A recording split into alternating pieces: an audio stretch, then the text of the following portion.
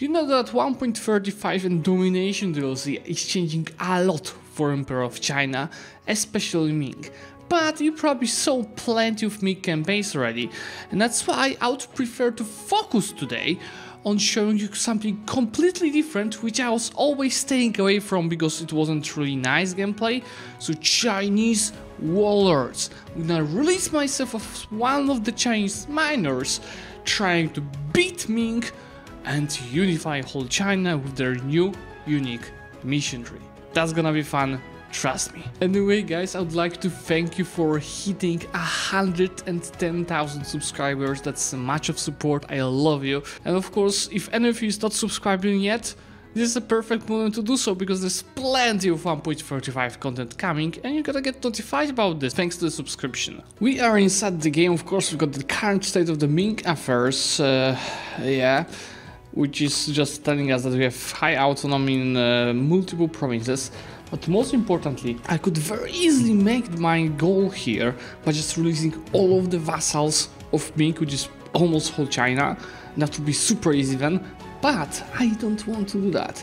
I want to have more challenge, right?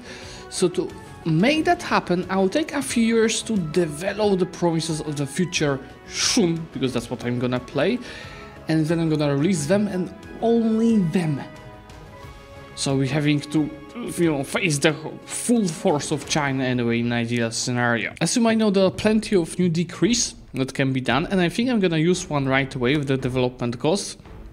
As well as I'm thinking about the Celestial Reform for another development cost, which will take 80 of the mandate, so pretty much all of it.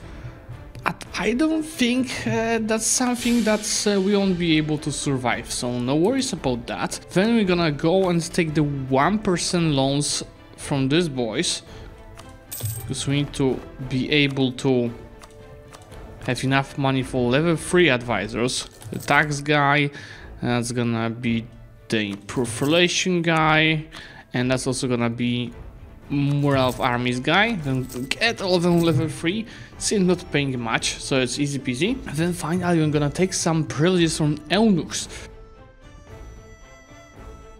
So this is, a, you know, a new unique estate that China got, that Ming Emperor of China got, with plenty of privileges, and I'll go for one specific that is giving us another development cost. And you see with 59% ownership of the Crownland, it's 8.8% dev cost. I could also try getting these guys over 60, but I don't think that's gonna happen. So let's just go and play around with what we have. By the way, from all of these boys, I'm gonna go ahead and try getting mill points. Of course, from the nine nations that are big enough to give me points, but you can see that's plenty of them. That's gonna be so much mana that we have for deving. All of this will give me uh, mill points. How about we ask a couple of them also for some diplo points to dev the production. If I turn off all of my armies, yeah, that's gonna fix the balance a lot. I could remove Calf as well, but that would make my game easier. So I'm gonna keep Calf in the hands of AI. There it goes, the first event. Lose to stability and the, the decreased power of Onus, all get corruption but gain stability. Well, let's get it to zero. And Haijin policy of the Great Ming. Trade efficiency is spread but some sheep, okay. Or, okay, if you want to improve the existing policy of isolation or if you want to repeal it. How about we go and repeal it. Guys, look, we might already have some problems with rebels because, ah, the negative mandate. Uh, you know what, we have to find an advisor here for the national unrest and then also some boost stability to one. Su Luo is giving us meritocracy and prestige. Let's go for stability to get rid of uh, plenty of rebels already. Oh yeah, yeah. the 1445 youngster River Vlad, well, I might ruin this thing a little bit before we go into Shun, but I don't want to completely kill them. Well, that's 10 uh, mandate lost, we just got 5 of it. And that's also lost to stability and devastation. But then I got Yushun Shima, so it's like a roller coaster. Positive and negative events. That's all the stability that we could get. So yes, please go ahead and get back to zero. I could have used first my mana to boost it, but we don't have to be fully efficient. We're not gonna play Ming long term. How the rebel, yeah, that fixes the rebel situation. See, my local autonomy is over like 20, and this is because See, administrative overextension, which is the modifier that we are having at the start as Ming. Oh, anyway, go and uh, encourage development here. I'm interested. What's... Ah, this is all mountains. This costs me so much to develop, but let's see. Why is this is 45? Yeah, I don't have enough modifiers for the dev cost, but it's still pretty good. Just dev it up to 20 already. And the power of tributes, as we are gonna hit January, so you see how much mana we will get. How about I switch more of them to Diplo points? So you're gonna dev with Diplo and mill points, of course. The tax meta is not something that I'm gonna be embracing. Let's take a look. 71, so it's gonna be 78 and 59. 67, 92. Very nice. Looks like these two processes are gonna be the cheapest to develop.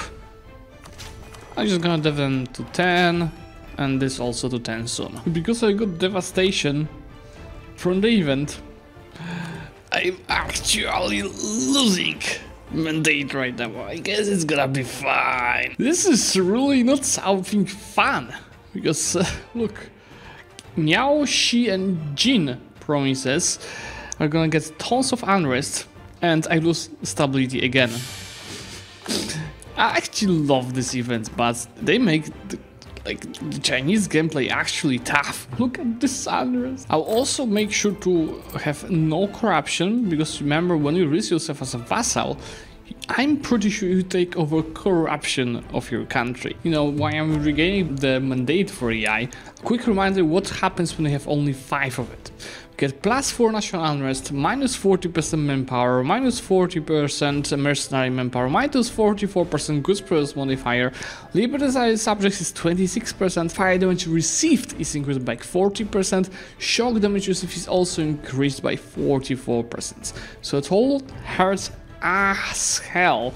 That's why I'm trying to fix it ASAP, then be boosting stability to 1 soon. First rebels are here, and if I wanted to troll AI, I'll, uh, you know, remove my troops and let rebels occupy everything, but we're not gonna be lame. I want to have some of actual challenge.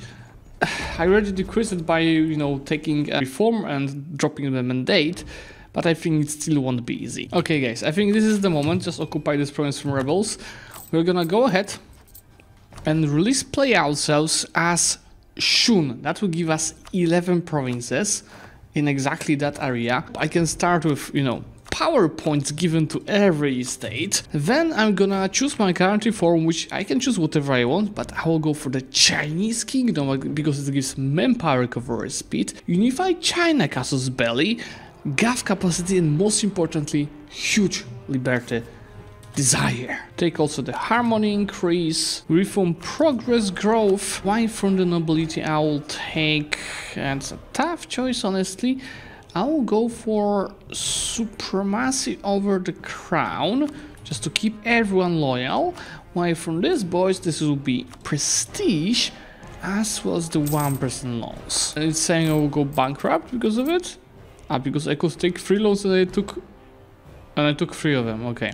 I could have looked first. You need a month to organize everything. I'll send one merchant to Xi'an or Xi'an and one to Yumen. I think that's gonna update everything. Yeah, income is a bit higher. I can also take farm loans. Take a diet, stability no, empire no.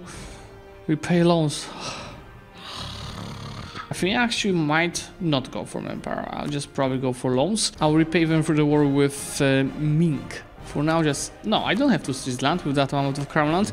That's... Oh, 2, 3, 2 is... It's this complete RNG. This is complete trash stats. I've seen better in that test run. But strict is, you know, helping a little bit. Let's go for the discipline guy. Let's go for the trade efficiency guy as well as yearly... No, inflation reduction. See, I'm losing money mainly for paying for forts. We'll have three of them. I think I don't need a fort. No, I, I'll need all three of them. Let's just turn them off to save money and that's gonna be just enough. I can also straight away start uh, making uh, Spy Ming and uh, I'll change my bonus here in Xi'an for the spy network construction. Now you see, we have a little mission tree that is for Chinese warlords, that's part of this DLC. I need to grow my development by 100. Well, that's not gonna happen right away, but this will happen. I have to insult Ming and get my army 80% of the force meet. That gives me manpower, a god tier general, and if we complete this mission while having already 25% war score against Ming in the Independence War, we advance our tech by one. So if I focus right now on getting tech 4, declare the war, and start winning, I will get my technology to level 5 right away. That's what I'm definitely gonna plan here, especially that remember Ming is having 111 ruler, which uh, will make them very slow in taking the technology. that was fast! Because remember, when you have an inflation trade, guys, you can spawn radical reforms, which is either mercantilism, 200 admin mana, 200 diplo points, or 400 power points in total, but that gets, uh, you know, the advisors out of the court, but I can just fire them, take the power points, and get these advisors back. New heir, which is gonna be... Oh, 346 is really good. Uh... Oirat attacked me! Well, that is good. That is good and not good, you know, because I've got devastation, blah blah blah, instead of being stable, but, well, that is gonna hurt Ming for sure. So, you know, the weaker Ming, the better for us. And I think Ming is going for suicide here. Yeah. Can I reinforce? No, 27 days to reinforce.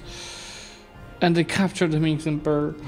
That gives them 20% more of armies and 25% his ability, so my force is just gonna die. Uh, can I at least try fighting Mongolia? They attack free. I don't think I'm gonna win here without China. I feel like I'm gonna get fully sieged down in this war. These guys are not so willing to... I mean, if they are just next by, yes. Come and reinforce me. Maybe we can push them back at least from this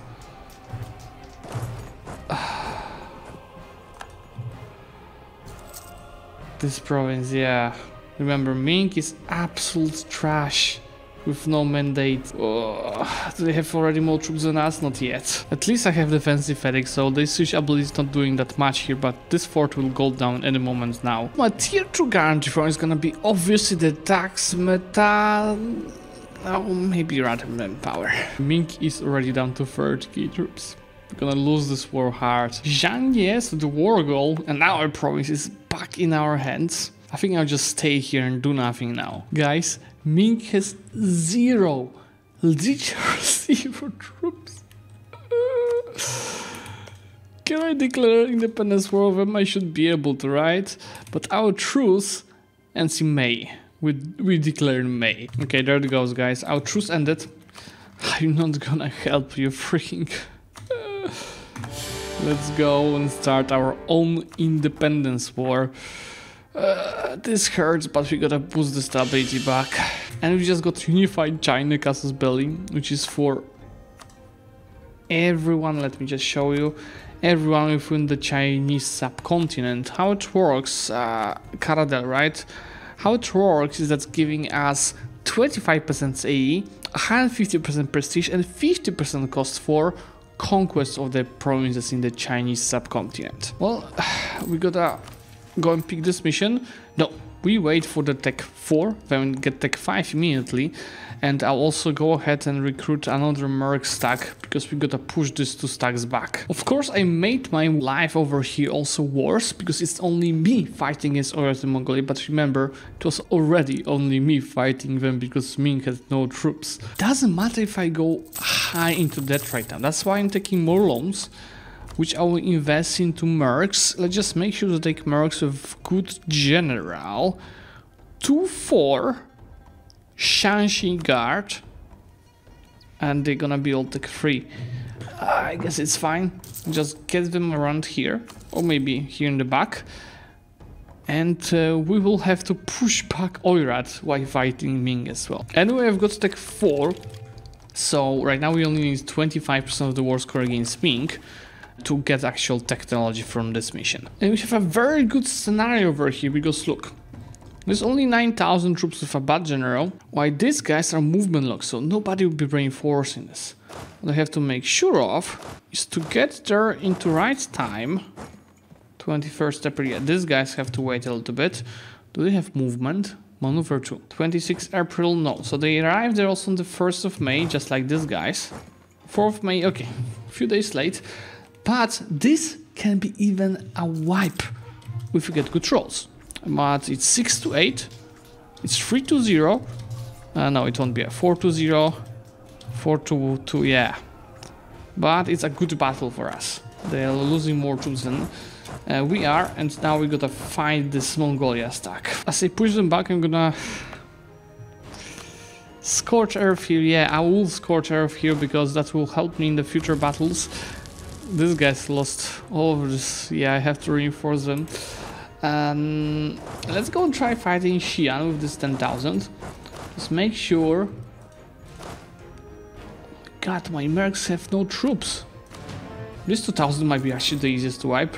And then we'll deal with these two stacks. Once I get them low attitudes, maybe I will be able even to take a province or two. No, I will have to occupy a fort. Uh, let's just get one war score first. Can I wipe them here? It's going to the right direction. I think yes. Very good. But they still have tons of the troops to deal with. Please don't say they're gonna take this fort over here on 7%. That would be like super unfortunate. But I think I still should be able to win before anyone reinforces, especially that these guys are running around the province that, that has Scorched Earth. They did not siege this down. Let me just go ahead and win the battle. Hopefully. Because these guys will be here on the 12th March. Can I win before that?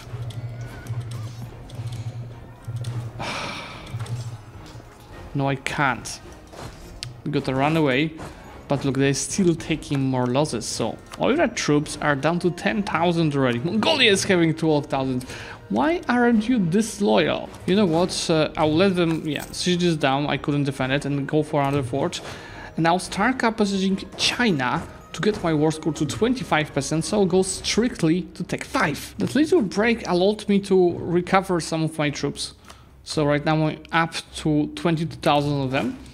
Do I still have tech advantage? I do. And see, it only needs 5% war score on China. But you see how fast they go into our country. I gotta go and push them back and... The Yellow River Flat. Yeah, of course. Let's just go and wipe them Xi'an because I'm pretty sure this is gonna be a wipe. Obviously, shift consolidated before joining the battle to make sure we fight with our full strength and this should be really an easy, not busy guide. I've lost so many more troops. I know this is farmlands, but still, Mong oh, Mongolia, disloyal. They're not gonna help anymore. B-E-A beautiful. How about Xibe? Xibe is an ally, but we might make Xibe low attitude, you know, in some time. So see 49.4 representative Mongolia, so they are sieging me down again. No! God, please, no! No! I just need to decrease some of the troops of Oirat a little bit. And to do that, I can now take this, which means uh, technology for us, as well as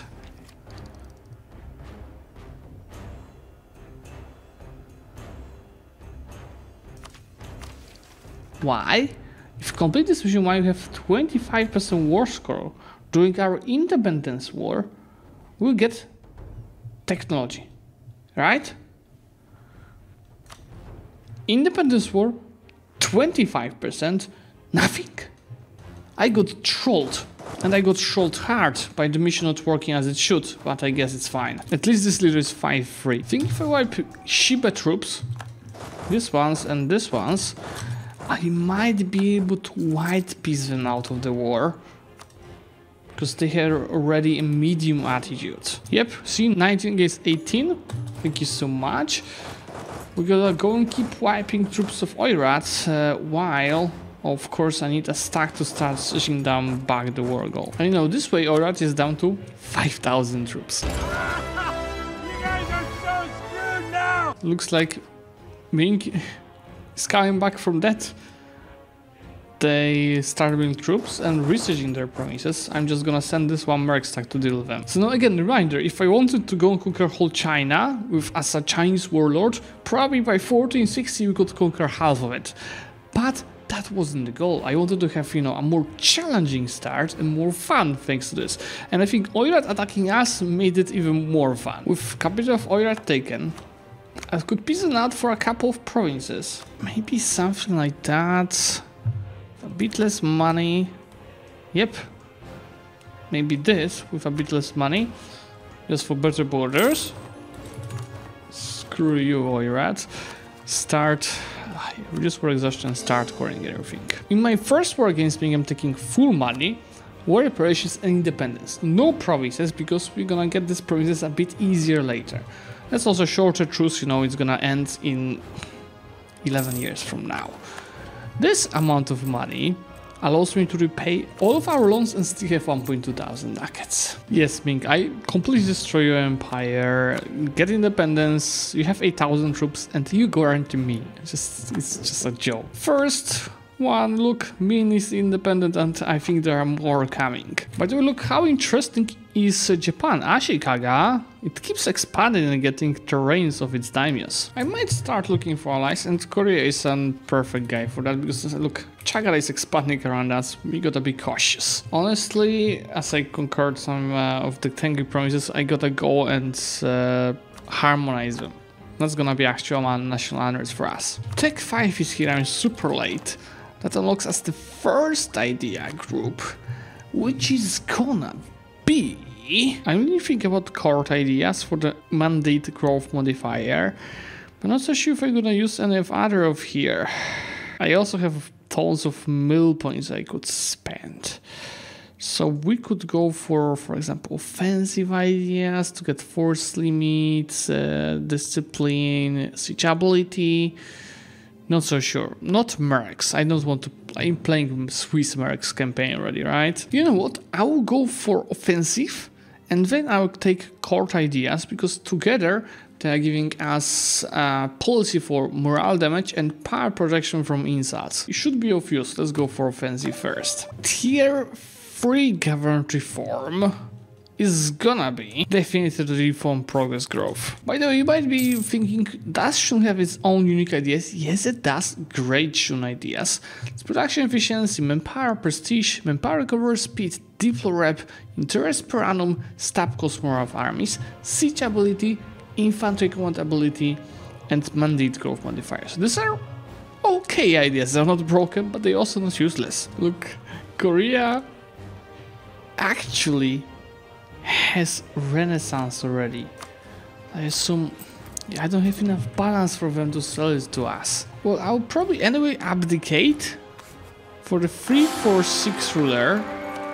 That of course breaks our prestige, our stability, but I think in the end it's definitely worth it. I just might want to change our focus to admin. And Oira just attacked Ming, but uh, my truce ends also in just in one second in July. We gotta get into their terrains ASAP because uh, I want to block Oirat from taking anything. Of course I'm going for the take Mandate of Heaven Casus Belli, which is less against expansion and cheaper cost for the province. You know guys, even if I wanted to take Mandate of Heaven, I can't do it from Ming because currently Min is the Emperor of China. So I might make sure to get a border with them in this peace deal by focusing on getting it to Beijing with good borders and as much money as possible. But it's baby steps, guys, baby steps. That's gonna be a bit of a border gore. Let's go for this. Cutting off uh, some Ming's uh, provinces. Now, do we want to release Qi over here? Just to save a bit and also go below 100 overextension so that's easy peasy. That gives us solidify our domain which is core creation cost and uh, monthly war exhaustion. And then I could also go for this, but of course I would have to dev Beijing for that. I mean, that won't be a problem. We just need more prestige. Let's not slow down Mr. Min. Let's go for take mandate of Heaven Casus Belli. That will lose my alliance with Korea. but I guess it's worth. I have got Taiwan, guys, not to be exact, Tungning being over here. With Korea at last on low attitude, I can white piece them and get out of the war with Min, which will allow us to take not only these promises, but also mandate of heaven and a bit of money. So now we are... It's actually cruising. this is good.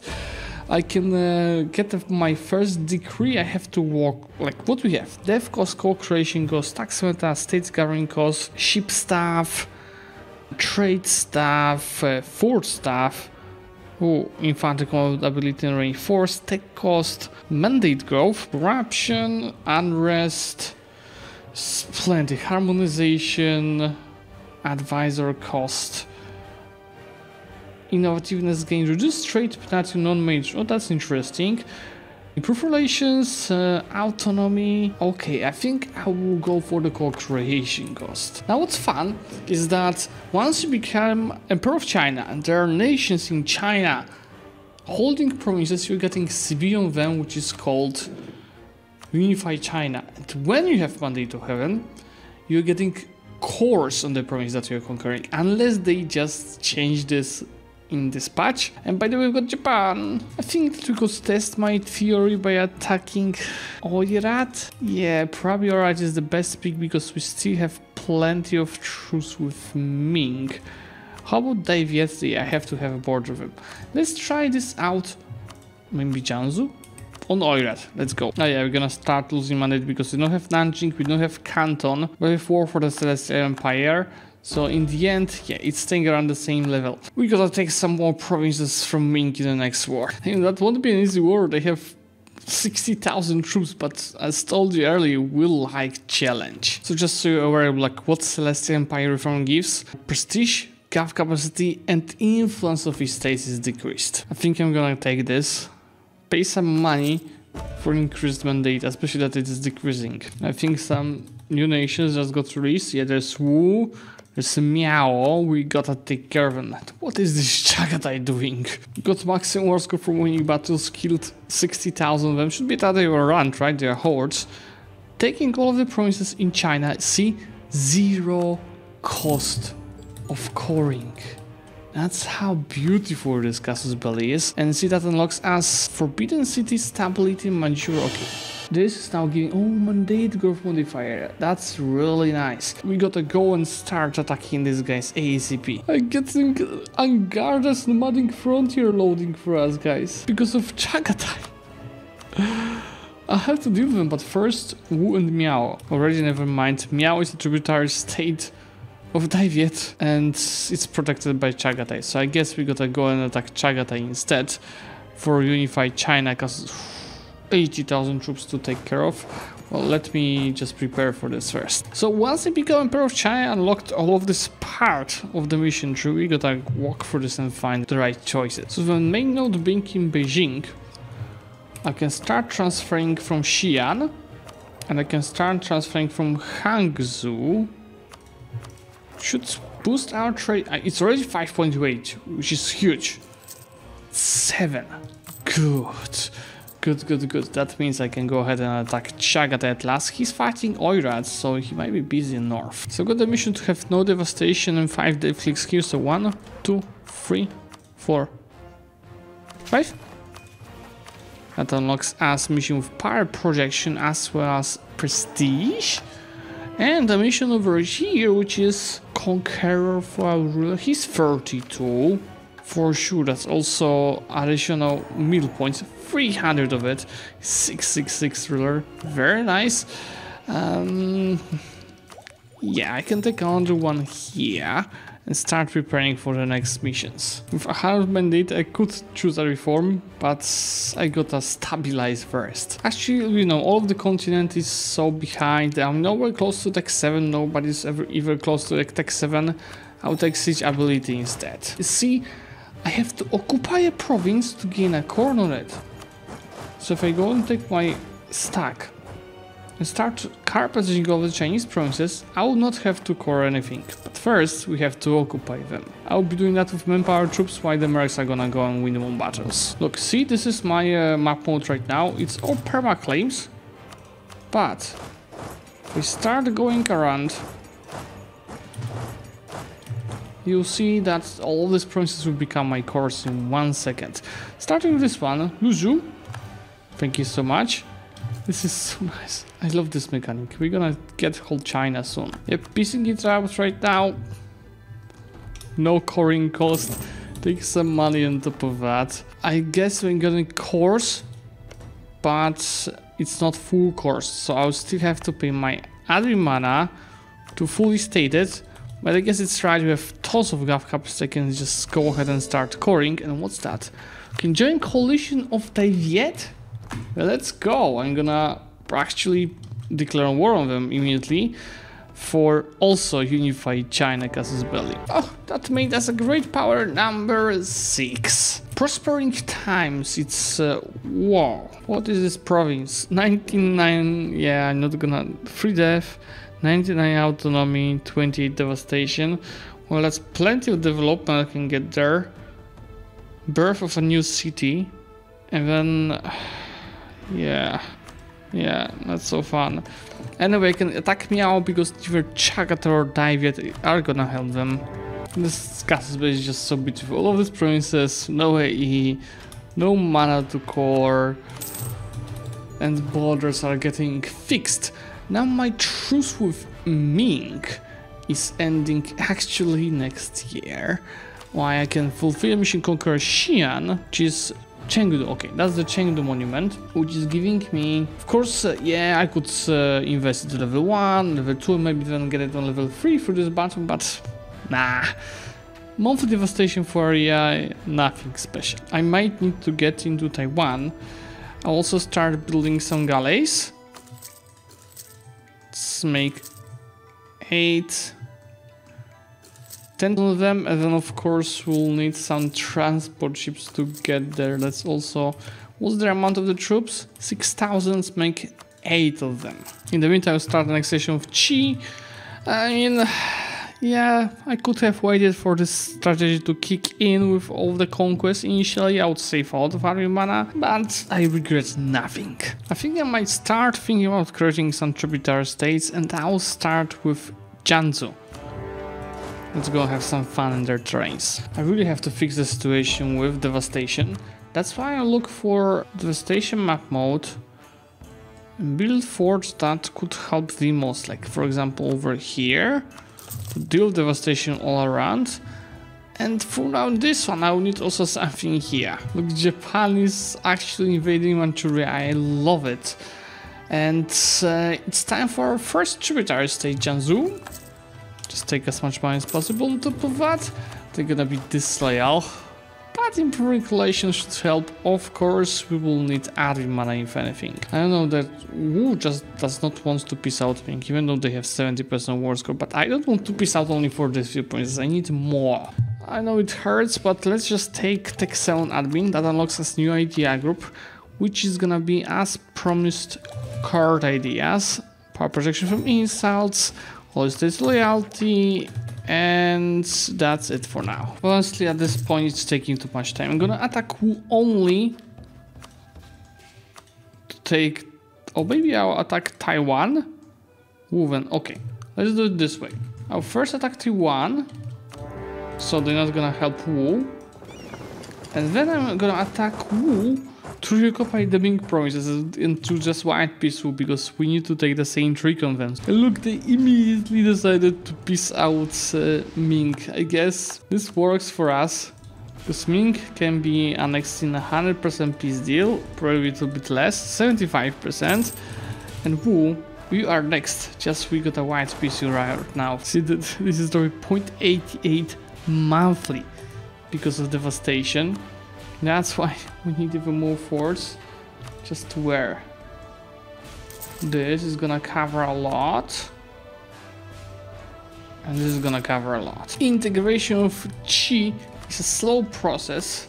But what a beautiful one. Yeah, there goes the white piece. So we're pretty much left with Min and Wu provinces in China. So, core all. Take both of these two. I can finish offensive ideas. That's discipline. And uh, remember, we're working on this. Obviously, I'm be behind the Miltech, but I first want the institution, of which I've got 90% in this province here.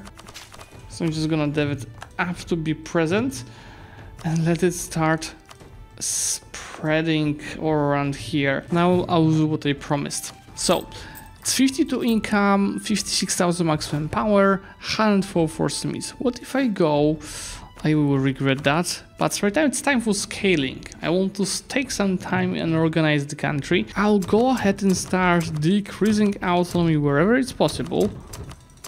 That will be plenty of rebels, but also help us scale the country a bit faster. So now with this, our maximum bar is 66,000, income is 60, and with 122 of force limit. It's also time to start fixing our meritocracy with higher income. I can go ahead to make all of these three advisors level 3.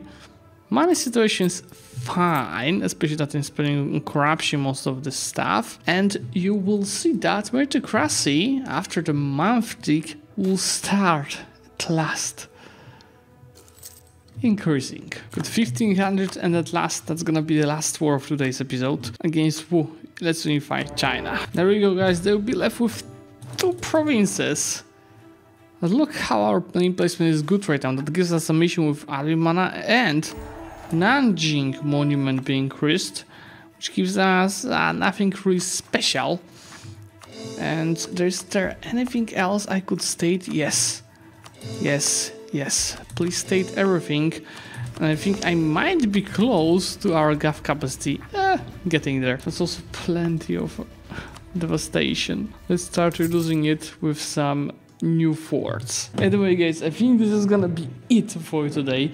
And if you'd like me to continue this series, going through the rest of the mission tree, for example getting the old power scores over here, please let me know by liking this video and of course subscribe to the channel to get notified about the future content. Bye!